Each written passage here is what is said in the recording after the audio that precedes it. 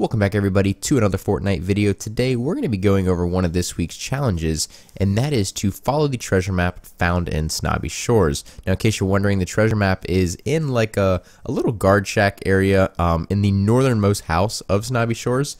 Uh, you don't actually have to go look at it. You can actually head straight to the treasure location. Um, and that is actually going to be between two big hills. Now, the only really part on the map that has this area is in between Pleasant Park and Greasy Grove. And right smack dab in the middle of this area is these trees. Just go right in the middle of the trees and you can see that that is the treasure map location. Of course, this guy right here decided to uh, kill me as I'm grabbing it. I'm sure he uh, needed it as well, but that's all good. Um, so I hope you guys did enjoy. If so, definitely hit a like button down below. If you want to see more of my Fortnite content, if you don't want to miss any of the other weekly challenges, definitely hit the subscribe button. Other than that, I'll see you guys all in the next one.